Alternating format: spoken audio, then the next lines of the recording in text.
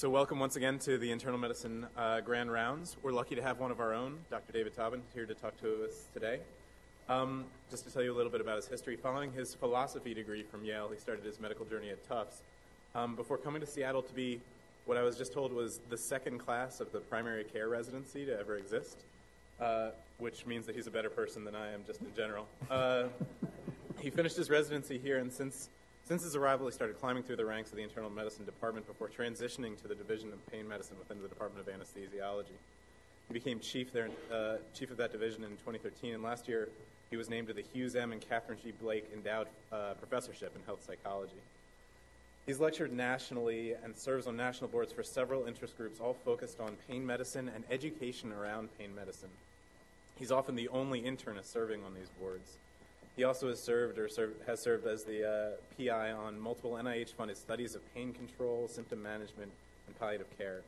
He's even had several TV uh, appearances as an expert on these topics. He's similarly published on both pain medicine and education on pain medicine, and within our program, he teaches at all levels, from medical students up through the fellowship, and he's consistently named as one of the top docs on both the national and local level. So it is my pleasure to listen to Dr. Tauben teaching us about the intersection of primary care and pain. Thank you very much. That was very flattering.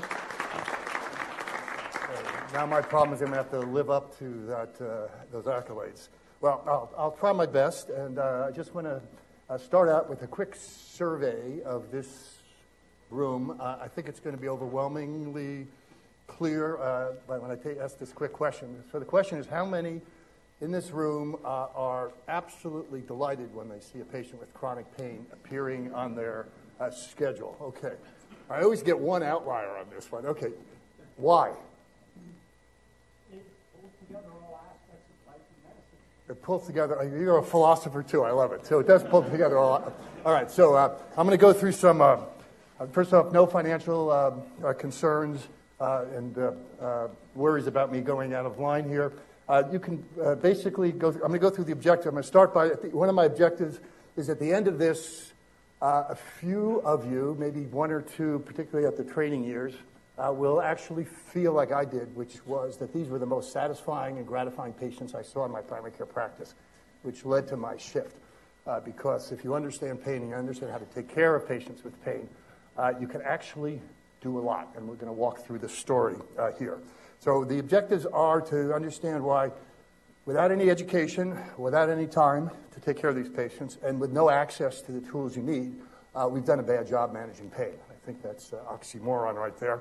Uh, over reliance on opioids has been a, a, a national disaster. Uh, we do have uh, a uh, education program called Telepain, and I would invite you all to talk a little bit about how we increase access to getting specialty, multidisciplinary specialty consultation. Uh, and I think uh, as a person uh, familiar with chronic disease management, because uh, I did 27 years in, in a private practice, uh, general internal medicine uh, setting, and I see some of my, two of my colleagues from my practice here sitting here in Seattle. I do understand triple aim, and I think pain actually fits exactly into this because of the complexity of the disease and the need to be able to manage this in an understandable fashion. I'm going to discuss a little bit about how you measure it, I don't, certainly don't have enough time, uh, but it's not the fifth vital sign uh, in any useful fashion. I'll do a bit of explaining about that. Uh, I'll talk a little bit about the National Pain Strategy, uh, which is something I'm going to have an ask from all of you to take a look at it and offer comments. I'll, I'll introduce this, but that's a whole separate uh, discussion. Uh, and then introduce the fact that one of the pain societies is looking for internists to join the shared interest group. And I'm making the a straight out pitch for people to be potentially interested uh, for reasons we'll, we'll get to. Uh, so, uh, Mike Von Korff over at Group Health coined the term flying blind, and I think it's a great term to describe uh, where we are all at. Uh, I'd say all specialties of medicine, uh, because, and this is a survey done um, by O'Rourke and also by Upshur, identified in 500 academic primary care practices. So these are the teachers most of this room here, uh, actually felt uh, unprepared uh, themselves to manage this managed pain problem. Uh, uh, 81 plus percent of attending physicians rated their own medical school education and residency as poor. I would say that was my experience. Tufts was a great medical school. I learned zero about pain as a medical student. Uh, and I, our uh, advanced practice colleagues, uh, nurse practitioners and physician's assistants on a zero to five score were kind not to give it a zero, but they gave it a 0.5. So uh, this is a, uh, a very pervasive uh, problem. Uh, and as uh, uh, Scott Fishman, who, who's coming next week to anesthesia grand rounds, the ungodly hour of 6.30 in the morning, but you're welcome to come. And Scott has led a national education, and I've been very fortunate to be able to work with him. And I quote, the problem is simply that most doctors aren't well prepared to manage pain, and who enjoys doing something that they aren't trained to do? And I think that is the, the answer to the problem that we all have. Uh, Beth Murinson uh, at uh, Hopkins has done uh, a lot of seminal work in identifying the problem with, with education uh, in uh, the United States and in Canada, and actually has done some national surveys. A lot of data on this. The, the bottom line is there's a median of seven hours of education in four years of medical school when she did this, did this survey back, at, actually it was conducted in 2009. University of Washington at that point had six hours uh, when I joined the, the uh, uh active faculty here. Uh, a lot of time spent on pharmacology, which is, of course, important uh, to know. I was surprised to see that there was actually pediatric pain education training as well, and some palliative care, a little bit on assessment. So there's a bit of a spread. you can see that our Canadian colleagues aren't much further off, and actually internationally it's about the same. And this leads uh, a Maclean's uh, headliner that since veterinary students get 87 hours of pain education, uh, they get their dogs better cared for than we do our own patients as far as pain is concerned. So, what do we know about this from our medical students? I think everyone here knows, and me being a primary care guy to start with, I'm connected to the uh, workforce needs of primary care. Uh, in the Division of uh, Department of Family Medicine, Roger Rosenblatt and uh, uh, Dr. Corrigan, 2011, identified by uh, surveys and diaries of the students who were in the RUOP program, the Rural Underserved Outreach uh, Provider Program, uh, that over 90% of the trainees were highly dissatisfied with the experience of pain. It was the number one dissatisfier. And in fact, large numbers of them in their diaries said that this is the reason they're rethinking going into primary care. They were so disabled by what they were seeing in the practice. They said it, they were nothing of this. They'll go into radiology or something else that might be spare them that, that agony. Uh, part of this, as I mentioned, is uh, you know curriculum issues. So one slide on education. Uh, regular curriculum is something that we work really hard to formulate. It's an arduous task, and I know many are involved in creating curriculum. Uh, that's formal, structured education that follows a sequence that is intended to create specific competencies. Uh, the hidden curriculum is, however, what pervades our experience of pain, again, because uh, our preceptors and faculty don't know much about it, and these patients can be so challenging when we don't know what we're doing. Uh, I quote one of my colleagues at the uh, general internal medicine meetings last year. Uh, she said, Yeah, one roll of the eyes undoes 10 hours of carefully constructed curriculum. So the comments we make the offhand, flippant remarks about how much of a pain these pain patients are. They're just drug addicts and seeking and malingering and all that. 10 hours of work that I do in a classroom with medical students is flash undone. So uh, uh, it's a big problem, uh, and uh, it is uh, something that uh, I hope by just speaking with you a little today, you'll be a little more sensitive to yourselves. So, why is primary care important for people with pain? Well, the bottom line is only 2% of patients actually see a pain specialist. Uh, that means 98% of people are getting care elsewhere. Uh, fairly consistent data from multiple sources support that uh, about 30% of the adult primary care visits involve chronic pain. So that's the average primary care practice. 30% of the patients you see are going to be in, in, involving chronic pain issues. Uh, 20% is delivered by emergency departments. I know a lot of folks end up in emergency departments, but another quick survey who believes that chronic illness is well managed in an emergency department setting? Okay, you all passed. We're good. Uh, and so this is a big problem, uh, of course, because so much of it is being delivered by people who are simply not, not trained and don't have access to specialists. Kirk Kroenke, uh, through the uh, VA and VA and DoD, has done a huge program over the past five years because of the enormous problem with uh, uh, overuse and overreliance of opiates in that population. Uh, they've done a big launch. Uh, we've been participating in a telemedicine program. Randy Gray, our esteemed projectionist here, has been very involved in that. I've been working with him now since 2011. But uh, he, this editorial uh, uh, from Pain Practice, calling all pain patients telehealth, has arrived. And I would say all pain providers, because the model of care we're using is a telementoring uh, program. And there's Randy uh, there on the, on the left, and we're delivering uh, to all of WWAMI Land every week for an hour and a half. And we've delivered 5,000 hours of education and about 300 consults, all free, all living on grant. And uh, by the way, about to end at the end of this year when our grant money runs out, because this is not compensated by any system because it's education and it's not patient care, even though we give free consults. This also constitutes a Washington State Department of Health uh, consultation. The requirement, if your patient's not doing well on high dose opiates, you can just dial in and you get a multidisciplinary com- uh, conversation.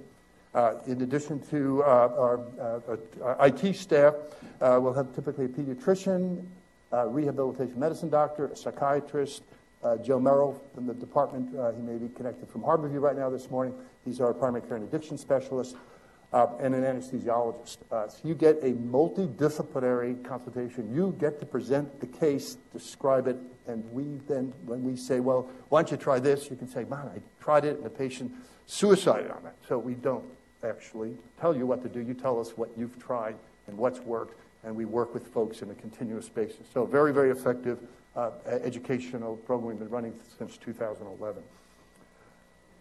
Uh, I had the, the, Carly Simon's, haven't got time for pain, and I blew people out of the room, and I've tried it before, so I won't play the little tune. Uh, but this is a, a Dos Centeno, nice title, and this is the challenge that you face in the clinic.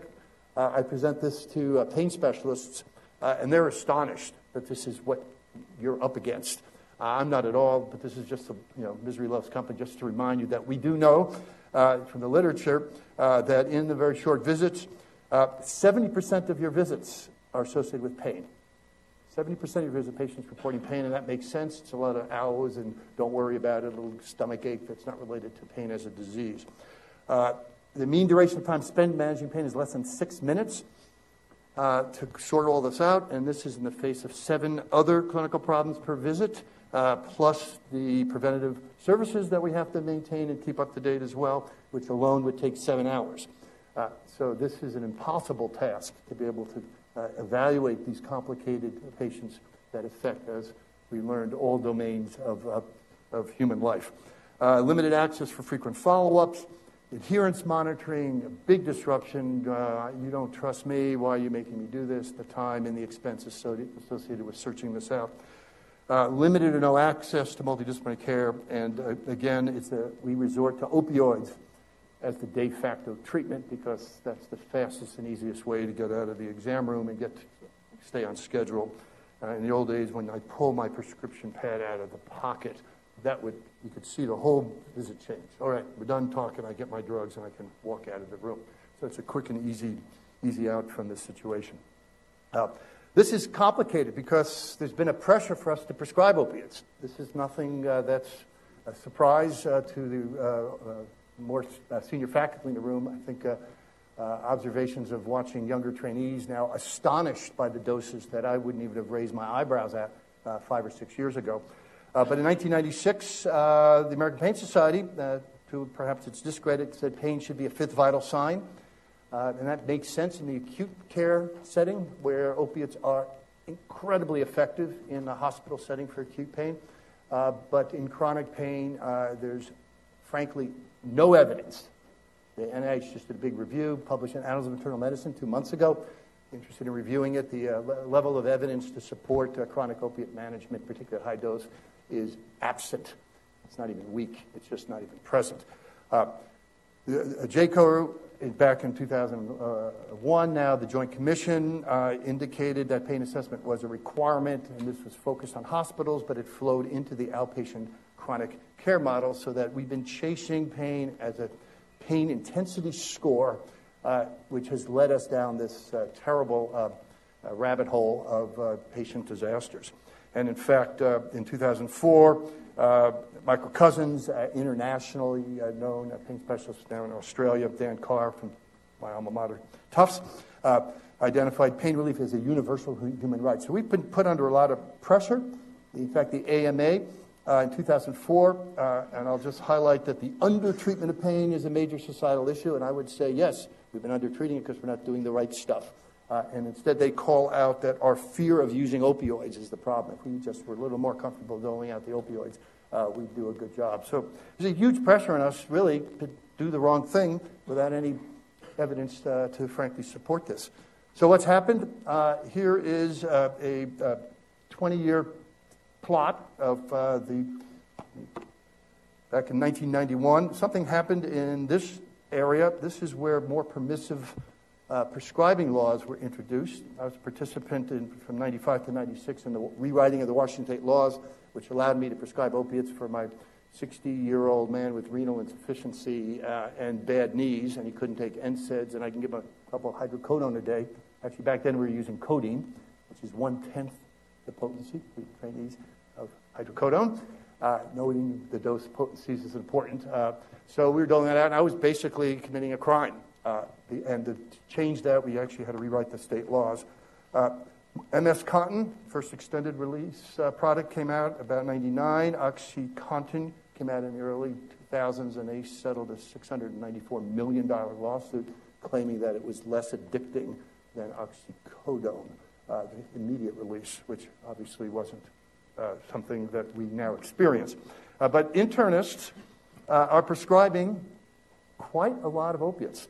Uh, this is total outpatient prescriptions uh, in millions that the internists are, are, writing. You can see the other specialties. spent a lot of time with, with anesthesiologists in my current joint appointment, rehab doctors. And then the physician uh, extender groups, uh, nurse practitioners, uh, are, who in most primary care audience I speak to nationally are the most popular group, most populated group in the room uh, because uh, people in rural clinics uh, push these unpleasant patients off down the rank of who can get to say who they see. So they're usually seeing most of the patients with chronic pain. if you also track the trend between 2000 and 2010, uh, what's really happened in terms of non malignant or non cancer pain management over the decade. Uh, that uh, pain visits increased by 20%, non opioids. So, in other words, the alternatives to opiates remained unchanged, and opiate prescribing went up 73%. Uh, so, this is a visit, any visit that is associated with the dispensing of pain medication uh, during that time. Uh, and well known by this audience now, but in case you haven't seen this slide, sales, deaths, and need for uh, addiction treatment management. And uh, right before we started, uh, the issue is how much does uh, opioid, how much does pain management uh, interact with addiction? My view is if your patient is struggling with addiction as a result of your treatment, that was your problem. You made the error of, of jumping in on this uh, because addiction and pain management are just unfortunately co-occurring. That 30% incidence of addictive disorders are associated in pain population. Actually, Jane Ballantyne, our, on our faculty now over at Harborview, beautiful editorial uh, in, uh, pain, in journal Pain uh, on the difficulty we have because when you're an addict, you're seeking euphoria. When you're a patient with pain, you're seeking relief. And it has made us all completely confused as to how we can tell the difference between this problem. But we need to be able to tell that difference so we don't continue on this trend. Happy to say that uh, Washington State, uh, somewhat to our notoriety, uh, uh, uh earned the, distinction, and now positively. And the CDC said if every state in the country did what we did in Washington State in 2010, there would not be the same opiate epidemic right now. there's 16,000 people die every year. 16,000 of prescription opiate. That's stuff that comes off physician and other uh, prescribers' prescription authority. This isn't heroin, uh, and very little of this is stolen and uh, uh, bartered around in, in, in, regard to where patients get these drugs. we bent the curve. And, and, I, and I just learned that Florida is the second state to do it, and they shut down their pill mills. So they bent their curve. They were in the top 1% of, of opioid overdoses back then.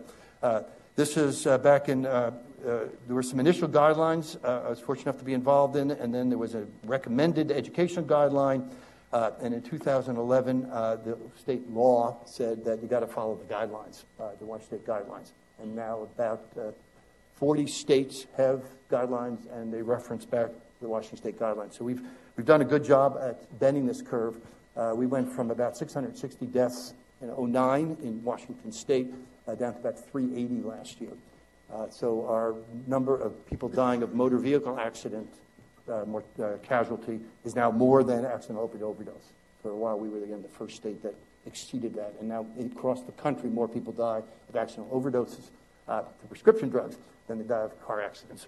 Uh, so it's not a sign of safer cars. I think it's just uh, uh, an issue about the allure of opioids. so why do we like opiates? First, they make patients happy sometimes too happy. And that's the reason why you wouldn't want to prescribe. Patient reports euphoria. That's a number one risk that they're going to be in trouble. Uh, 80% of patients feel lousy with opioids and will self discontinue those opioids. Uh, and at least initially, because tolerance quickly develops, and I was taught it's all about tolerance, just push through tolerance, just raise the dose and keep going until you, know, you can get uh, your NRS and numeric rating score down low. Uh, and indeed, that does not happen. Uh, tolerance uh, to pain is short, to analgesia is short lived and rapidly recurs. Tolerance to sedation is noted, so our patients aren't falling asleep. But tolerance to respiratory drive does not develop.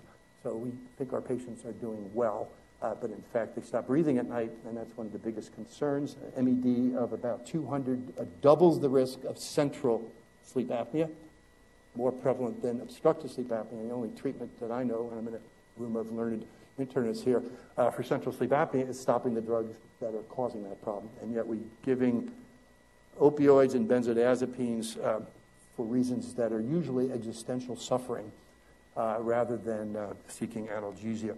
Uh, in the Northwest, we have the privilege of being involved in the care of our partners in Alaska, Wyoming, Idaho, Montana. I understand there may be some connected here, so thank you for joining us. Uh, but opiates are available everywhere. Every pharmacist will carry opiates. You can get opiates to anyone, anywhere, anytime. And uh, do you think you can get a behavioral health specialist who is familiar with cognitive behavioral therapy in the Kenai Peninsula? Send me an email and find out if one's available. Uh, it's hard to get them here in Seattle, uh, let alone. Uh, so it's a whole lot easier. How about the physical therapist who understands chronic pain? isn't just a sports medicine, do these exercises and go home. This is a specialty in all areas. Uh, insurance with perverse incentives covers opioids more than effective therapy. A month's worth of OxyContin in high doses is about $1,200 to $1,600 a month. A multidisciplinary pain clinic, which has powerful evidence of efficacy, is about $18,000. Uh, so what we have in basically 16 months, we've spent the entire budget it would cost to treat this patient effectively, get him off these drugs, get him functional again. And yet, insurance plans are much more happy to prescribe opiates in multidisciplinary pain clinics. Physical therapy, Medicaid gets 10 visits a year, can you imagine that? 10 visits a year when that is a, one of the cheapest ways that we can improve functionality in our patients. And behavioral health, Medicaid doesn't cover it all. That's useful uh, and uh, completely ineffective. So perverse incentives are driving this. And again, the signed uh, prescription closes the visit. So, how about non medical use? What's the allure? The allure is that pain uh, relievers, uh, and these are again uh, almost exclusively opioids, uh, lead the pack in terms of uh, psychotropic drugs among uh, people 12 or older. I just learned yesterday that the incidence of 12th graders Uh, uh, using opiates uh, on a regular basis has dropped from about 6% to 4%. 4% of our 12th graders are using opiates regularly. So where, so where do they where do they get this? They get these drugs, and it's a complicated slide. Just a few are doctor shopping. You can see 1.8%. Most are coming from one doctor. Most are coming, quote, free from a friend or a relative. So that says, well, it's not us. We're, not, we're under 20%. Turns out, where do those people get the drugs? They get it from one doctor.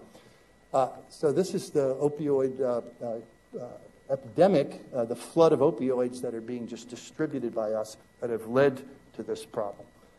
Uh, Mitch Katz, colleague, internist from San Francisco, wrote a, a, very nice piece, and he says he's a believer who's lost his faith in opioids. And how did this, that happen?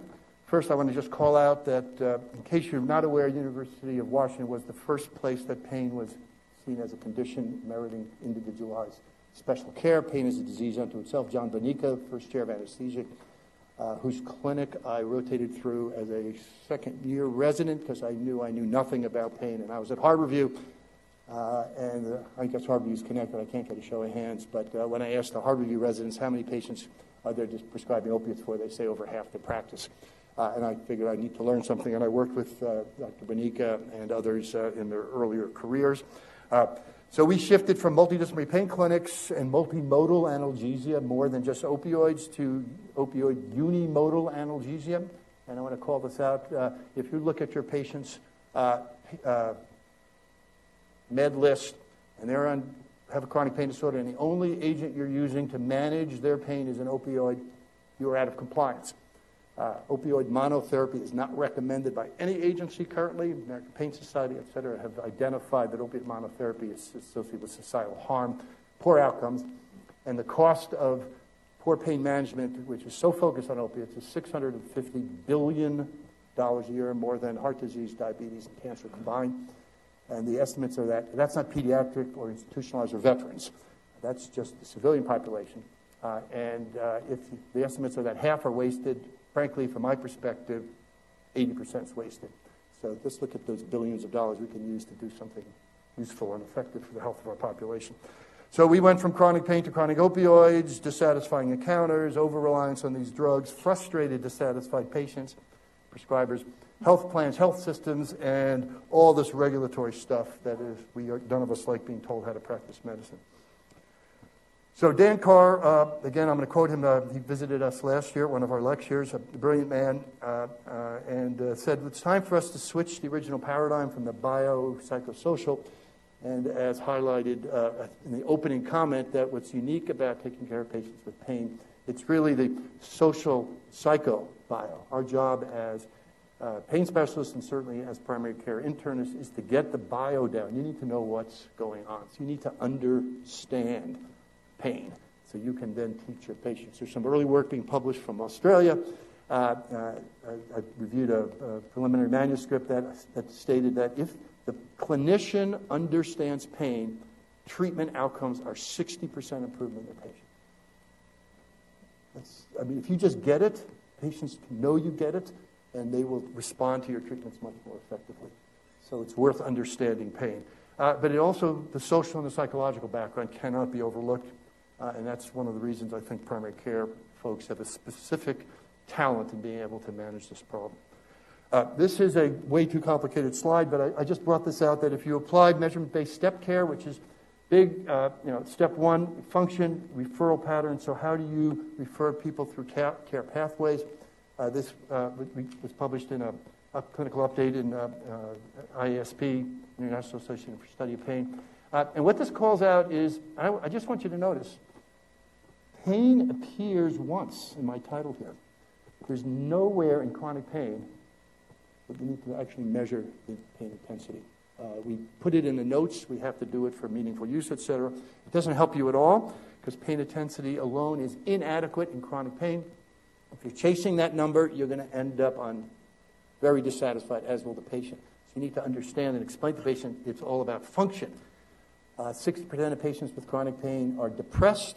70% in our clinic have an anxiety disorder, and we're a tertiary clinic, and 70% of both men and women uh, have been sexually abused or have had such a traumatic life that they score positive on PTSD screening. So we're treating people with PTSD, severe depression and anxiety, with high dose opiates and benzos, uh, and we wonder why the outcomes aren't looking so good and why we don't want to see these patients in our practice. Function, mood, sleep, benzos, and opioids are contraindicated. Look at your med list. If you're on that combination, change it uh, because uh, you're out of guideline compliance. Uh, treatment adherence, uh, again, important to monitor for patients on opioids and the opiate uh, equivalent dose helps you understand because as the dose goes up, every risk factor increases. And in fact, some uh, work that Dr. Mark Sullivan our faculty from the Department of Psychiatry have published with Edlund and others have identified that the highest dose opioids is correlated uh, to 260% probability that patients high dose opiates also have co occurring addiction and co occurring major psychiatric diagnoses. So, this is the population who is on these doses. So, if you want to screen, in my view, it's not been done, for patients with addiction disorder and co-occurring psychiatric disease. Just look at the MED. Uh, and if it's up over 200 or so, that's probably the diagnosis that you have overlooked uh, uh, or have inherited for the trainees who are just walking into complicated practices. So, chronic care model, uh, I put this up uh, because not because this audience isn't familiar with it, uh, but only that I've used this similar slide deck to talk to pain specialists. It's coordinated, it's collaborative, it involves evidence based monitoring. Uh, I want to highlight self management. The goal of any chronic illness is improving patient self management. I think that's, we can get a clear consensus in this group. Uh, and it's similarly in pain, uh, because our ability to reduce pain intensity with all our drugs is no better than 30% reduction in pain intensity score. Uh, and I'll give you some data about when you focus on the other, uh, other goals, how well you do. We're using a tool uh, called Pain Tracker, um, and it's been banging around in an outside EMR, and I see Dr. Uh, David Chu up there, and uh, he knows a little bit about our appeals to get into the EMR here. But it's a web based tool that allows us to track over time what the patient's response is. These vertical lines are specific treatments. It gives us the opiate risk tool, the alcohol risk tool, a PHQ-9, a suicide ideation, screens for PTSD, sleep apnea, and uh, identifies uh, right before I even start the visit. So, in that six minutes I have as a primary care person, I like to get the data up front. It's like a cardiologist, your patient is seen without a blood pressure or pulse, a BMI, an EKG, or any labs. Uh, and you have to collect all that in the course of your six minute. It can't be done. So, you need this data up front when you walk in the room so you can start making clinical decisions. And, and uh, that we do as physicians, not collecting data, uh, which cannot be done on the web. So again, uh, back to triple aim. There's no question that chronic pain is a chronic disease. That was why I was so interested in embedded chronic pain into my uh, practice with other chronic diseases uh, for my 27 years before I joined the U here full time. We can improve the experience. Uh, we can improve health outcomes, no question about that. And we can certainly reduce costs. So we hit the target three ways uh, length of stay, emergency department use, readmissions, costly medication, low value treatments, unnecessary imaging, and surgery to cut out uh, existential suffering. I've never seen that accomplished uh, successfully to date. Uh, so, the outpatient collaborative care model uh, we've instituted with the neighborhood clinics, uh, and I want to thank Dr. Pete McGough, who's been a, a, leader on this, and Patty Reed Williams, who's one of the family medicine folks out in Issaquah. Uh, no tracking, no outcome measurement, and getting care required a, a specialty clinic consultation, uh, which unfortunately we are still understaffed. Uh, numbers to next new in our clinic are now three months, sadly, uh, and it's a big challenge. The average length of time it takes for patients to show up in a pain clinic is seven years. So if you want a, someone with heart disease to really show up in class four, uh, uh, congestive failure. Wait seven years before you do anything correct to manage them.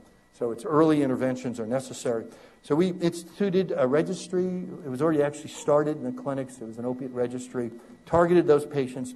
Used the, this pain tracker tool uh, in their clinic. Coordinated with uh, an uh, RN who is a care manager in our clinic. Coordinated and managed and educated uh, them. And now the neighborhood clinics uh, from in 2009, we don't see pain patients. The signs were up on the doors. We don't prescribe pain medicine. They're going for NCQA Tier 3 certification as a medical home in pain. Can you believe it? In just those few years, they're able to turn a disaster into no problem at all. Understanding what you're doing, keeping track, and following this like an ordinary disease. Uh, Steve Dobscha down in Portland. At the Veterans, again, the VA has done a great job. They've done a, a fair amount of publication on collaborative care. So, for the sake of time, conclusion of this study, it was a cluster randomized trial. A little bit of clinician education, patient assessment, activation, symptom management, feedback and recommendations uh, to the clinicians, and facilitation of specialty care. Uh, this is uh, Roland Morris disability. Uh, it, it, nudged down. It wasn't as powerful as we'd like to see, but all statistically significant improvements with this collaborative intervention. Uh, Working with uh, Dr. Unützer, uh, Chair of Psychiatry, with his brilliant uh, behavioral health integration program. Uh, this is what published in the American Journal of Managed Care 08. Uh, you could see that the cost of their program, it was called Impact, was about a little over $500, Uh, but if you look at the healthcare costs in this uh, uh, uh, prospective trial that was conducted, there's a reduction in terms of saving of 6.5 to 1 ROI. If you track more than RVU per square foot, it's a complicated model by just coordinating care. We, at the neighborhood clinics, uh, identified uh, the population that were being referred to us. It was this pilot study. We're working on a larger manuscript now on this. Uh, showed that about a third of our patients were not interested in getting well. These are the patients for whom I really wonder whether we should be spending as much time on. About a third were actually ready to get well, and these are the folks you should concentrate on. A third that were well engaged. This is, or well, this we dropped our pain intensity six percent. So this is why we don't track pain intensity. Disability down 45%, anxiety, depression down nearly 50%, and the opiate use, the morphine equivalent dose, almost 60% reduction in this population by just doing those simple things that we outlined. It's not high tech, and any internist can learn how to do this. So we've got a, a, a model of pain uh, consultation right now that uh, when I joined uh, faculty here, I said, what uh, your customer, when they show up at the pain clinic, is the primary care doctor. Uh, because if you do a good job with their patient, you'll be doing a good service for the primary care doctor. I came in with the pure attitude of, the, of a primary care doctor. Take care of our primary care doctor. So we created three tiers. One, just take a look. The, patient's having trouble. You don't feel comfortable. Take a look and reassure. I'd, say about 20%, 25% of our consults are, you're doing okay. This is a difficult problem. Uh, you've got things lined up pretty well, and keep at it, a pat in the back. Uh, uh, about 50% we tweak because there's a bunch of stuff that hasn't been done. The diagnosis is uncertain. Multimodal analgesia has not been offered. Uh, the opioid dose is too high, and we can help them uh, manage that. And we provide a straightforward care plan. And then about 15% of patients stick around for three to six months while we do the heavy lifting and get them back to you improved. We send them back to you unimproved we're not doing our job as consultants. And we had a pretty good culture change uh, in, in the clinic uh, as a result of that. Uh, so, do biopsychosocial treatments work for chronic pain? Uh, I just want to give you, I didn't give you all the detailed references here, uh, but I ran out of space on the page to describe the number of studies that show that behavioral health management, and particularly cognitive behavioral therapy, uh, for trainees, how do you know your patient's getting cognitive behavioral therapy when they say they're seeing a therapist? Ask them if they're doing homework. They're not doing homework, it's not CBT, it's psychodynamic, for which there's no evidence of efficacy. It's like physical therapy without home exercises. You don't do the home exercises, it's not therapy, it's not going to work. Uh, how about for efficacy of multidisciplinary chronic pain programs? Again, overwhelming evidence of, of efficacy. Uh, recently, uh, fairly recently published, Bob Gatchel um, and um, Akiko Okifuji uh, published Healthcare Costs. This is cost effectiveness, conventional treatment, which is the crappy care we're now giving, uh, compared to a chronic pain program. You can see you've reduced the costs over $100,000 uh, and reduced disability uh, by a substantial percent as well. Review clearly demonstrates that chronic pain programs offer the most efficacious and cost effective evidence based treatment for persons with chronic pain. Uh, the UW shut its chronic pain program down in 2006 because no one would pay. Insurance companies wouldn't pay for multidisciplinary care. Again, those perverse incentives, they'd rather pay for useless interventions and high dose opiates rather than what, what, what's truly effective. Very, very frustrating. Uh, Institute of Medicine Finally, as a result of the Affordable Care Act, requirement was the uh, IOM was instructed to produce a report because of the pain problem in America. Uh, let's do something about it, uh, and mandated again. Just read the list. It's still it's the chronic care illness model. Let's just apply the chronic care illness model of it, and they called literally in the title of the report, transforming uh, pain care. Uh, so we're we're doing a little bit of this stuff now. Uh, Harborview is going to roll to the medical center shortly. Uh, we're working now using our pain tracker type tools uh, and additional information to identify high risk pain, poor pain outcomes. So we now can predict who's going to do poorly after surgery in terms of pain control. Uh, and then identify selected care pathways uh, that are associated with that. Here's a impossible to read uh, schematic, but I want to call out here. Here's the, probably should be a woman, a woman because most primary care providers now are female, but we, the graphic here is a man and the patient using a pain tracker. We feed the patient back the data so they're involved in the results. Refer to surgeon, need for pain expertise, telepain or formal consult. Then identify the risks, triage to low, medium, high, create the care pathway associated with this, and the patients are brought back down to planet Earth uh, before they go back to your practice as far as dosing and complexity of care. And then, astonishingly, we're going to see whether the surgery was worth it. So we're going to do a pain tracker at the beginning, pain tracker one week, one month, six months, and one year later to see if the surgery was worth it. And some data supports that uh, when you query patients for elective, some of the orthopedic, mostly spine surgeries, the patients say they're really no better, and in fact, they're far worse. And we want to get some real data on this. So the Institute of Medicine uh, lists a series of principles. Here's the moral imperative, and I agree, it is a moral imperative to treat our patients properly, but I don't think it's a moral imperative to load them up with uh, opiates and benzos. Uh, chronic pain, recognize that it's a disease unto itself, and you may not find objective evidence, but the brain is abnormal, and that's a whole lecture about how the central nervous system, you could see with high, more advanced imaging, how disturbed the brain responds to non-noxious stimuli after a period of uh, chronic pain and sensitization. Value of comprehensive treatment, interdisciplinary assessment, prevention, wider use of existing knowledge. We know enough now to make a big difference. We don't have to have any new breakthroughs in uh, basic science. It'd be great to have more effective treatments, but just what we know. They asked uh, us to solve the conundrum of opioids. Uh, we're working on that. Uh, identifying roles for the patients, in other words, get them involved in the care, and then a public health and community based approach. Uh, recognize that there are large numbers of people, and this is a public health uh, concern as well. Uh, part of the ACA said after the IOM gives a report, uh, we're going to do what they say. The IOM said we have to have a national pain strategy. And this is my first ask of my colleagues here. It just was published. There's the link. Read through it, provide your comments, uh, because this is a chance uh, for any internist in the room. Was mentioned that I'm usually, and thank you for mentioning that, I, I was surprised by the introduction. And I find myself usually the only internist in the room, and I've heard, boy, it's good to have an internist in the room.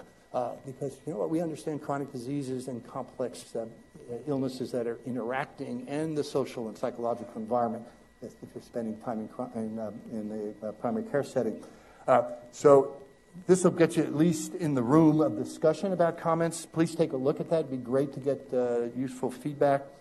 I pulled out one of, you can see they give a bunch of domains here, uh, and it's, I had all of the domains listed in objectives, we'll never get through that. But here's just one that I pulled out service delivery and reimbursement, obviously important uh, for any healthcare system. How are we going to get paid and what are we going to deliver? Again, if you, you haven't heard it already, it's integrated, multimodal, and interdisciplinary care. Evidence based science that's involved in our practice uh, through incentives that are aligned with good care outcomes, cost, and uh, outcome assessment. assessment. High quality, coordinated pain care through an integrated biopsychosocial approach. So, this again is pretty straightforward. I don't think anyone would have much of an argument I had the uh, privilege of working with the National Pain Strategy, and I think it's a pretty good document. But take a look. Get involved in that. Uh, and here's another opportunity. Uh, uh in, just coming up next month, the American Pain Society, it's going to be in uh, Palm Springs. Uh, not so bad. but Jessica Merlin from Alabama, she trained in the Northeast and was calling me from Alabama. She's a, a general academic internist there. And she was in Alabama. It was such a disaster uh, in the pain service there. She took uh, some initiative and formed a primary care a special interest group in this organization. Uh, and we put together uh, a number of experts, and we, we, we, have a full afternoon workshop that we're going to be involved in uh, uh, managing, as well as a SIG group. And again, for those of you who come, I'd say it's not only good to have them in the room, but it's good to have them at the table. so come join us at the table here to have a discussion uh, that may advance the agenda of primary care because uh, we, they're getting it out there, just starting to get what a burden it is on our practice. Uh, but uh, it's uh, certainly uh, solutions are really ready at hand. Some questions why would an internist get extra credentials in pain specialty? I grandfathered in because I couldn't take the American Board of Anesthesia exam, which is the true qualifying exam. Because it, it applied only to anesthesia, rehab medicine, uh, and neurology and psychiatry. I should say psychiatry gets two hours in their entire residency in pain. Uh, So whether they're more qualified than internists to sit for the board is a, is a open question. Emergency medicine jumped in, uh, so now emergency medicine uh, residents can take, do a fellowship and then do pain boards. And family medicine also jumped in, uh, so that a family medicine provider can do a pain fellowship and then sit for the boards. It requires uh, the uh, American Board of Internal Medicine to say, we will attest to your qualifications as an internist, and then you, one can do a fellowship. We've had zero fellows in our pain clinic coming from primary care specialties today, and it's a darn shame because it's always good to have an internist in the room. I got to tell you, it really, it really makes a difference. Uh, other options, uh, but I did the American Board of Pain Medicine because that was my only option. Uh, you can do American Board of Pain Management. Uh, it's not terribly rigorous, and I would say it's not very scientific at all. And there's an opportunity. I know uh, uh, uh, we'll learn a little bit about the internal medicine and anesthesia combined. It's a four-year residency that's available now in UC Davis. Scott Fishman will be here next week. If you're interested in talking about that, and you would qualify for the board at that point. So, quick summary. I certainly can't have you understand pain. I think you understand why you're in distress. But remember, uh, pain care is not treating opiates for the fifth vital sign. It's not just about opiates. My pet peeve is it's conversations, a lot of these pain is all about opiates. Let's find a better opioid delivery system. It's just way too much focus on opiates when it's they're really not effective. I think we now know there's no evidence that they're effective for, uh, in any meaningful way, and certainly at high dose. Uh, and it's certainly not about managing misuse and addiction. Uh, that's a problem that you will encounter in your practice, but if that's the problem, it's not pain, it's addiction management. Uh, and you need to just reframe your discussion and get the patients in their proper care. Pain is a chronic multidimensional illness. It's disabling not only to patients and practices, but we can see communities in general uh, from the uh, outflow of opiates uh, to our youth and others. It requires a structured assessment and tracking. I mean, it's diabetes is a complicated illness. I think it's way more complicated than managing chronic pain uh, because you know how to do it. You've been taught. There's a structure. You do this, you follow this lab, you track it at this point. Pain is frankly easier to do and a lot more straightforward. And because there's so few of us doing it out there, it's enormously satisfying uh, to be able to accomplish. I asked the medical students uh, in fourth year, so they're on their way out the door, entering practice. Two of them ro- rotate with me in the pain clinic. Uh, and I say, end of the month, okay, I'm gonna, I've already graded you. I haven't yet, but I say that. Uh, tell me what you learned. Uh, and uh, they say two things that are absolutely consistent. The first is these pain patients are really nice. What does that mean? That's that hidden curriculum. And these people are just really good people, and they're just been bashed around in the system. Uh, so they don't, be, they don't look nice, but you just like an onion, the Lozier onion, you cook them a long time, they sweeten up. Uh, uh, you cry when you start, uh, but they're really nice, and the students say that every single student says that. So what does that say about our education? What does that say about their learning here at the University of Washington? That these are dirt balls and drug addicts and malingerers. It's just a terrible attitude. Of course, they're not going to like our care or respond to our care. The second thing they say, and this is what I'm hoping you'll come out, they say there is something you can do for these patients. What an amazing thing. No wonder we're not satisfied. If there's nothing you can do, why would you want to be involved in that practice? So the fact that uh, we, we're making some headway here is, to me, enormously satisfying. And I would say, when done well, pain care done well, is absolutely and extremely satisfying. So I'm going to open this to questions. I'm going to leave this up as a backdrop. This is uh, available through the UW Internet, uh, the intranet, and open to anyone, uh, anywhere in the United States. Our pain medicine provider toolkit. Everything I've talked about is listed here. All these tools uh, can be downloaded as PDFs. It's a great reference site. We try to keep it updated. It's, it needs another update, but this is the, the last screenshot I, I had on that. So uh, I think we may have some time for questions. Really, thanks everyone for your attention.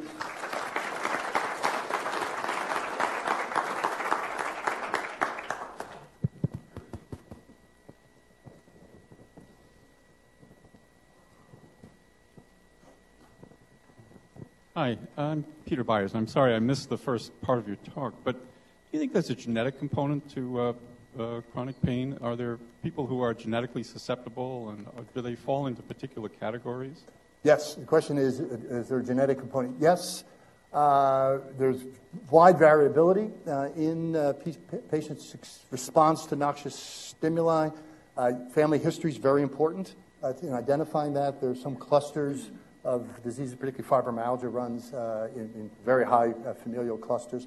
It's hard to sort out what the epigenetic events and exposures uh, uh, people will have, and that often comes from the social and environmental lives that people live. Uh, the highest risk for developing uh, chronic pain is having an early childhood adverse experience, the adverse childhood experience sequence of mother treated violently, sexually abused, someone in the house incarcerated, someone abusing drugs in the house, and that's a, a fabulous predictor of development of chronic pain.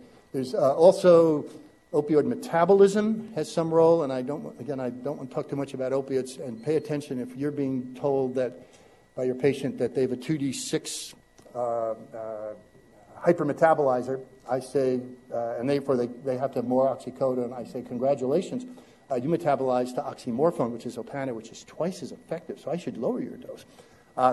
Uh, so you need to be informed, and if they're a hypometabolizer, I say, well, this is great. I can give you half the dose because it's hanging around a long time.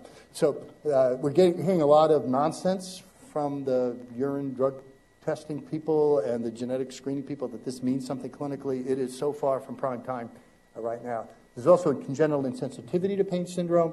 These are children who are born without functioning nociceptors, uh, and these children don't survive past teenage years because pain is something we need. It's diabetic uh, peripheral neuropathy and ulcers and amputations, we all know in medicine. So without pain system alarm, uh, you hurt yourself and uh, bite yourself and burn yourself. Uh, and there are variants within uh, people's uh, sensitivity uh, to pain. there is work being done on that, and I think it's well worth pursuing. But I think my view is the first thing to do is just fix our practices so we, we don't feel disabled by managing pain. Mark. To address public expectations. Uh, I, I, think the pharmaceutical industry, um, the pain uh, specialists have sort of, oh, 20 years ago, really set expectations that we would be treating pain, and you're telling us, I think appropriately, we should be aiming for improving function. Pain may or may not get better. But public expectation is still very high. And what, what's being done to address that now? Well, I just put up here, here's, I, I saved these slides expecting a question. Uh, it's being addressed, it, it needs to be uh, uh, considered. Uh, it's lagging behind, uh, generally speaking. There's uh, communication to the public right now is coming from primary care providers' offices. Again, the people are seeing patients with pain, and I think at this point, the, the lame public, ed, public education program we have right now is this audience uh, and the audiences that are listening uh, from streaming in terms of uh, acknowledging that I'm not going to cure your pain.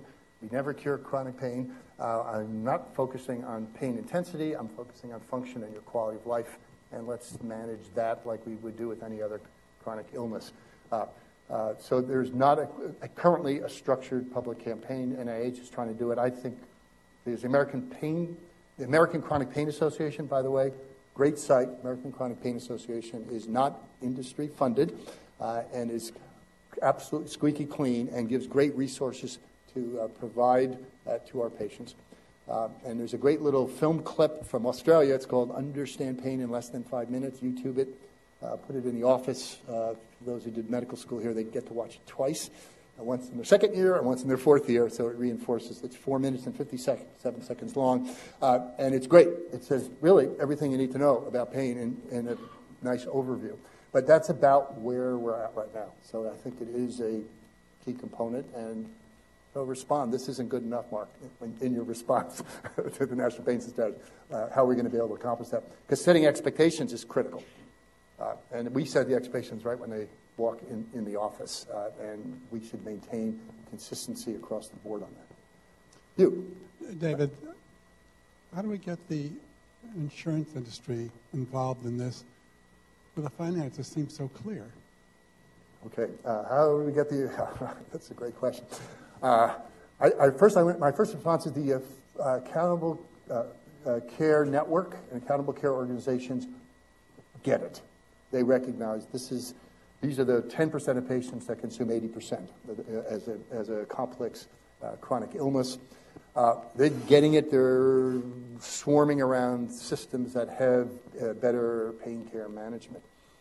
Uh, it's not clear to me how to improve funding. We are still fighting the same battle every day. They don't authorize the drug as a woman who's got the overlapping. She's a uh, scleroderma. I mean, she's Mark could be interested. She's uh, auto amputating all her fingertips. She's got real severe uh, nociceptive pain, but she can't control her opioids. So I want to put her on a little Suboxone, which is the safe way of managing this disorder. Well, she's Medicaid.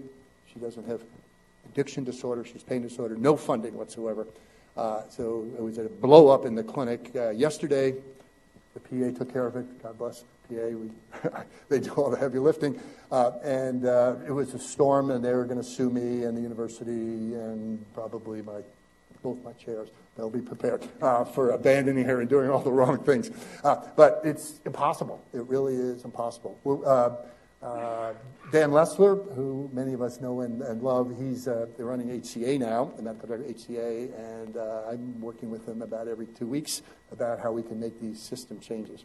Uh, and I think the way it's going to probably start is uh, through the uh, accountable care organizations because they, they are just paying attention to the, to the bottom line. Because it's a systems issue. We don't save the money. Every time I see, a, I see a patient, I lose money for the university. My time is just more expensive than, than uh, the outcome to the system. If you screen it out over the entire system in terms of ER use, length of stay when they go to the hospital, costs of drugs, uh, overutilization of other services, plugging up the other offices where they could patients could be better benefited, the surgical offices. It's a huge system advantage. Uh, the program at Harborview, we've costed it out. At three years, we expect to have 1% profit. Uh, and we're hiring 14 staff, not a single physician, so it's not that expensive. We're hiring 14 staff acupuncturists. Uh, we've got the chaplains going to help. This is the biopsycho, is the psychosocial model. Lots of uh, behavioral health, rehab uh, counselors, and the like. Uh, because I think the oldest treatment we've ever had uh, for pain. Uh, this is something I enjoy teaching the trainees. The oldest treatment ever is rubbing. We do that every time we get hurt. We rub it. It's probably how TENS units works and probably how spinal cord stims work. And it's a chicken and the egg thing. What's the other oldest? Hugs. So hugs and rubs is cheaper than a Narcan event from an overdose of uh, benzos and opioids. And we're going to prove it. I'm convinced uh, it's going to work. It's our hypothesis. And we're going to collect the data and exceed our 1% ROI at, at, uh, at three years. And we're going to roll that system wide if we get the whole university's support on this. We got a few more minutes. Can I ask one question, actually? Uh, of course. You talked about the 30% of patients who have this overlap of chronic pain and addiction. As you, as you start thinking about these future directions, is there I just think of the fact that as little pain education as we got during medical school and residency, we got even less addiction education during medical school and residency. Are there plans to tie this together as a unified movement? Okay, so uh, every pa- Washington State guidelines require you when the patient is going to be on chronic meds, opioids, at 90 days. Uh, if you're going to continue to prescribe, you have to do an opiate risk tool, 10 question item. The tool is high, very simple high risk for misuse and addiction versus marginal benefits, not a candidate for opiates. Doesn't make patients happy. Uh, if, if you say, well, there's nothing else I can do for you, but if you could think of all the other things we can do to help manage these, uh, these, these patients, we can do a huge amount. It's a difficult conversation, but if you don't understand it, you cannot communicate this to your patients. I'm successful at it because I've been doing this a long time. Uh, I got some gray hair, what's left of it, and it's clear that I'm an old guy, and they believe me. So it's harder for younger trainees to be able to communicate your wisdom and knowledge uh, about this. But if at least you get it, you can look the patient in the eye and say, I understand how much you're suffering, how much distress you have. Let's talk about ways we can remedy this because opiates are not safe for you. Just not a safe drug. I would, I would frame it NSAIDs for a patient with a creatinine of 2.2, there's no conversation, is there? I'd say, I'd look at this like an NSAID question, at the risks. exceed the benefits? And absolutely yes. Uh, and so we can, if the patient has an addiction problem that we can diagnose, uh, they need to see an addiction specialist and not be managed by you unless you, you're planning on uh, specializing or having a special interest area in addiction.